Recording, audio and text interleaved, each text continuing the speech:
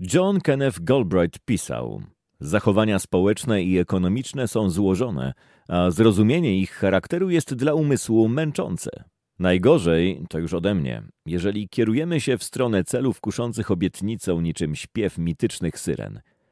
Taką pieśnią jest wizja lepszego życia w kraju o wysokim poziomie produktu krajowego brutto. Ekonomia szczęścia by Piotr Michoń Czyta Jacek Kaczmarski Fetysz wzrostu gospodarczego co jest wliczane i niewliczane do PKB. Kiedy zapytam cię, jak ci się powodzi w życiu, to do czego się odniesiesz? Zastanowisz się, czy jesteś szczęśliwy, ocenisz swoje relacje z rodziną, weźmiesz pod uwagę sytuację materialną, pozycję społeczną, wykształcenie, zdrowie i atrakcyjność fizyczną? Tak robią jednostki, ale gdy oceniamy kraje, za najważniejszy wskaźnik uznaje się Produkt krajowy brutto. Każdego dnia nazwa PKB jest odmieniana przez miliony polityków, analityków, dziennikarzy, przedsiębiorców. Wzrost gospodarczy to powód do dumy i wypinania piersi. Spadek trzeba jakoś wytłumaczyć wyborcom. Ale czy zastanawiałeś się, czym on tak naprawdę jest i co tak naprawdę mierzy? Zacznijmy od początku. PKB to wartość wszystkich towarów i usług końcowych sprzedanych w danym kraju na przykład w ciągu roku. Przy tym nieważne jest, co to za produkty czy usługi. Rozwijające wyobraźnię książki, edukacja czy leczenie są tak samo liczone jak niszczące nasze zdrowie używki, wynagrodzenia prawników w sprawach rozwodowych, towary, których wytworzenie ciągnie za sobą dewastację środowiska, produkty chroniące nas przed negatywnymi konsekwencjami tego, co sami na siebie sprowadziliśmy – PKB jest bardzo tolerancyjny. Produkt to produkt, usługa to usługa. Współcześnie krytyka PKB wylewa się z bardzo wielu miejsc. Zwraca się uwagę, że miernik ten często nie tylko nie mierzy tego, co dla nas dobre i przymyka oczy na to, co złe, ale też niewiele nam mówi o tym, jak nam się żyje. Początki PKB wiążą się z okresem wielkiego kryzysu w latach 30. XX wieku. Stworzono go, by śledzić zmiany zachodzące w gospodarce i wykrywać ewentualne zagrożenia. Od samego początku pomysłodawca produktu krajowego Simon Kuznets wskazywał na coś, co umyka uwadze polityków. Dobrobyt narodu niemal w ogóle nie może być oceniany na podstawie dochodu krajowego. Tymczasem ciągle dominuje metafora wzrostu gospodarczego jako przypływu unoszącego wszystkie łodzie stojące w porcie. PKB ma nie tylko traktować wszystkich tak samo, ale też wszystkim pomagać. Dlatego jego wzrost stał się świętym gralem dla rządów ubiegających się o ponowny wybór. W roku 1968 ubiegający się o prezydenturę senator Robert Kennedy ubolewał, że PKB zawiera w sobie zanieczyszczenie powietrza, reklamy papierosów, zamki montowane w drzwiach, by chronić ludzi przed kradzieżami, koszty więzień, gloryfikujące przemoc programy telewizyjne nakierowane na sprzedaż zabawek.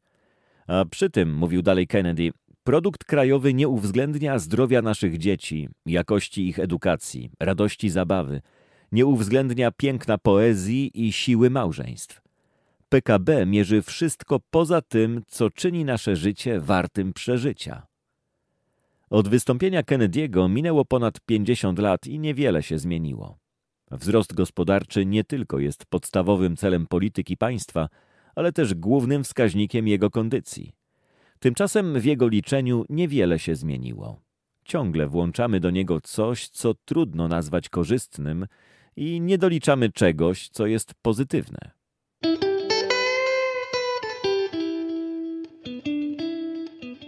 Przyjrzyjmy się kilku przykładom. Matka karmiąca dziecko mlekiem z piersi wykazuje się daleko idącą krótkowzrocznością. Owszem, dba o zdrowie swojego potomstwa, ale kompletnie nie bierze pod uwagę, że jej zachowanie nie służy wzrostowi gospodarczemu. Mleko z piersi jest darmowe. Darmowe! Jakie okropne słowo, ble! Gdy jednak mleko zostanie sproszkowane i sprzedane, gospodarka jest wdzięczna, dzieci niekoniecznie szczególnie w krajach, w których jakość wody jest tak niska, że rozpuszczone mleko bywa wręcz szkodliwe.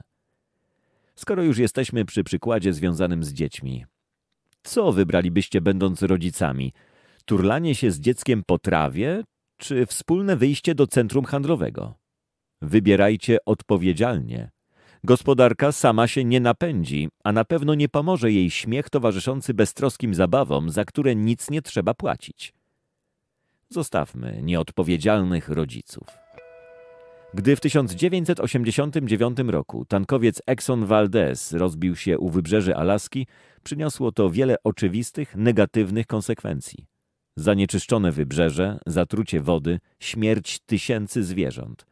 250 tysięcy baryłek ropy trafiło do środowiska. Miejscowi rybacy utracili źródło dochodów, a odbudowanie środowiska naturalnego trwało dziesiątki lat. A co się stało z produktem krajowym brutto? Wzrósł. Podobnie było w roku 2010, gdy ropa z wież wiertniczych BP rozlała się po Zatoce Meksykańskiej. Koszt usuwania skutków wycieku był tak olbrzymi, że jego wartość przekroczyła straty. PKB nie ma wahadła wychylającego się na stronę minus. Ze swej natury to miara bardzo optymistyczna, która nie uwzględnia takich kosztów jak choćby zanieczyszczenie środowiska.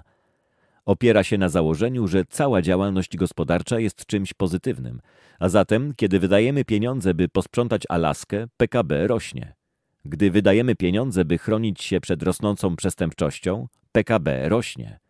Budujemy mury i więzienia, zwiększamy wydatki na policję i wydajemy więcej na ubezpieczenie. PKB rośnie.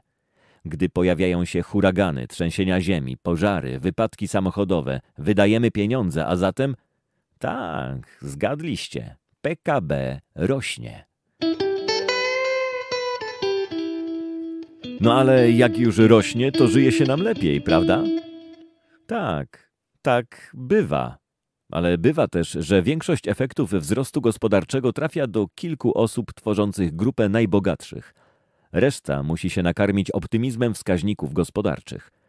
W wielu krajach obserwujemy, że już od dawna zdecydowana większość społeczeństwa w żaden sposób nie korzysta ze wzrostu gospodarczego, a nierówności dochodowe ciągle rosną. Dane amerykańskie pokazują, że od lat 70. realne wynagrodzenie wielu grup pracowników nie tylko nie wzrosło, ale wręcz zmalało. A tymczasem członkowie zarządów zarabiają dzisiaj ponad 350-krotność średniego wynagrodzenia pracownika w kierowanych przez nich firmach. Stany Zjednoczone to dobry przykład tego, jak mylące może być wyciąganie wniosku na temat życia obywateli kraju na podstawie wielkości PKB. Amerykanie mają najwyższy PKB na świecie. Olbrzymia gospodarka stawia ten kraj na uprzywilejowanej pozycji zarówno jeżeli chodzi o potencjał rozwojowy, jak i radzenie sobie z problemami. A jednak w momencie, gdy to piszę, liczba Amerykanów, którzy umarli z powodu COVID sięga niemal 800 tysięcy. Dla porównania, w Wietnamie umarło mniej niż 24 tysiące osób. Nawet gdy uwzględnimy różnice w liczbie ludności obu krajów, okaże się, że na jednego umierającego Wietnamczyka przypada 10 Amerykanów. Tymczasem poziom amerykańskiego PKB w przeliczeniu na mieszkańca jest 25-krotnie wyższy niż wietnamski. Skoro rozwój gospodarczy kraju ma przyczyniać się do jakości życia jego mieszkańców, to najwyraźniej coś poszło nie tak. PKB uwzględnia produkowane przez nas samochody i paliwo, w które w nie wylewamy, ale nie bierze pod uwagę emisji spalin i wytwarzanego hałasu. Do statystyk PKB najpierw włączamy przesłodzone napoje i niezdrowe jedzenie, po to, by potem dodać pieniądze wydawane na leczenie próchnicy i nadwagi. Podwójna korzyść. Do PKB wliczamy hotele budowane na plażach, ale nie pomniejszamy go o wartość zdewastowanego krajobrazu, etc. A przy tym produkt krajowy nie bierze pod uwagę pracy wolontariuszy, pomocy sąsiedzkiej, opieki sprawowanej przez rodziców nad dziećmi i przez dzieci nad chorymi rodzicami. PKB gardzi odpoczynkiem. Nie uwzględnia wartości pracy wykonywanej nieodpłatnie w domu. Sprzątanie, gotowanie, opieka nad dziećmi, prasowanie. Wszystko to trafia do statystyk dopiero, gdy ktoś za to oficjalnie zapłacił. Typowy żart ekonomistów mówi o tym, że jeżeli mężczyzna poślubi swoją sprzątaczkę, a kobieta swojego mechanika, to PKB kraju spadnie. Coś, co wcześniej było wykonywane odpłatnie na linii klient-wykonawca, teraz jest świadczone nieodpłatnie między mężem i żoną.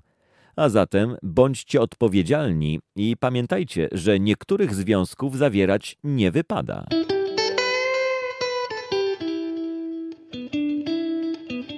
Stare porzekadło naukowców mówi: liczy się to, co się liczy. A my liczymy wzrost gospodarczy, naiwnie przy tym zakładając, że w ten sposób dowiadujemy się, co dzieje się w życiu ludzi. Nie jestem z tych, którzy całkowicie odrzucają pomysł mierzenia produktu krajowego albo wręcz odrzucenia jego idei jako błędnej.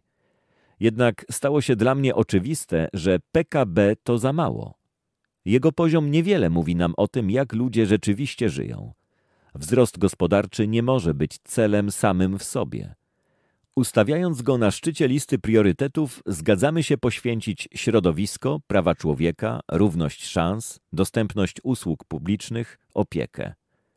Pisząc ten tekst i udostępniając go darmowo, okazuje się być niebieskim ptakiem. Nie przyczyniam się do wzrostu gospodarczego. Nie buduję potęgi ekonomicznej mojego kraju. Jestem nieproduktywny.